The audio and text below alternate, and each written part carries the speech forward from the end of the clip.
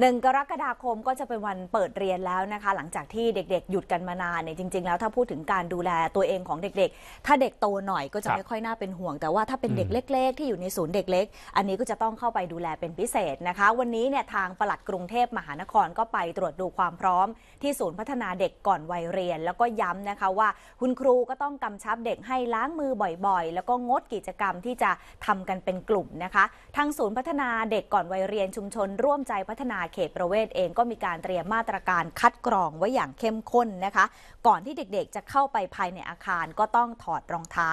ล้างเท้า ล้างมือ ตรวจคัดกรองอุณหภูมิร่างกายก่อน แล้วก็ไม่ให้ผู้ปกครองเนี่ยเข้าไปส่ง หรือว่ารับบุตรหลานภายในศูนย์ จะให้ส่งแค่ด้านหน้าเท่านั้นค่ะ ครูเองก็ต้องเข้มงวดกวดขันเด็กๆ ให้ล้างมือบ่อยๆ ใส่หน้ากากผ้าหน้ากากอนามัยตลอดเวลา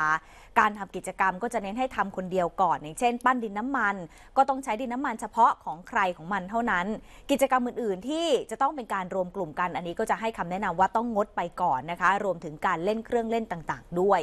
ขณะที่ศูนย์พัฒนาเด็กก่อนวัยเรียนธรรมานุรักษ์ เขตสวนหลวงมีนักเรียนกว่า 200 คน เปิดรับเด็กตั้งแต่ 2 ขวบครึ่งจนถึง 6 ขวบ นักเรียนส่วนใหญ่จะเป็นมุสลิมนะคะ ซึ่งทางศูนย์ก็จะงดกิจกรรมบางอย่าง ที่สุ่มเสี่ยงต่อการใกล้ชิดกัน อย่างเช่น การฝึกละหมาดหรือว่าการเล่นแบบเป็นกลุ่ม ส่วนการเรียนก็จะจำกัดนักเรียนเหลือห้องละ 20 คน จะทำความสะอาดพื้นที่พ่นทำความสะอาดฆ่าเชื้อเครื่องเล่น อุปกรณ์การเรียนทุกอย่าง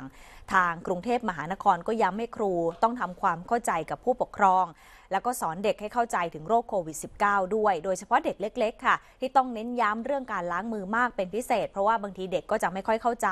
ไม่ค่อยระมัดระวังเรื่องการหยิบจับสิ่งของต่างๆปัจจุบันกรุงเทพมหานครมีศูนย์พัฒนาเด็กเล็กก่อนวัยเรียน 292 แห่งในพื้นที่ 45 เขต โดยเขตที่ไม่มีศูนย์พัฒนาเด็กเล็กก่อนวัยเรียนมีอยู่ 5 เขต ก็คือบางบอน บางรัก บางกอกใหญ่ พระนครและสัมพันธวงศ์ค่ะ